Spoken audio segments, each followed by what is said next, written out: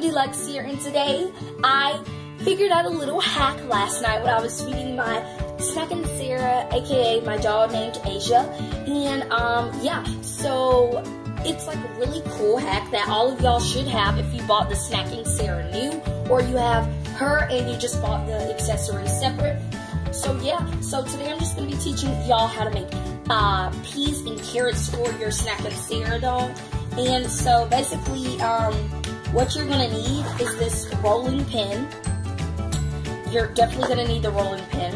You're also gonna need um, the. You could use the. You could actually use these two. Things. So you would already have it, which is cool. And then you would also. Then I have these, so I like to use these better. And I'm gonna need a spoon so I can scoop this Play-Doh out. Where's it at? I lost my spoon. Oh, here it is. Okay. And you might want to need the plate if you're going to plan on feeding her. And you're going to need the carrot cutter. And that is it. And you guys might not, oh, I'm going to take the juice. You guys might be wondering, well, how are we going to make the peas? And I'm about to tell you right now. So let's get started.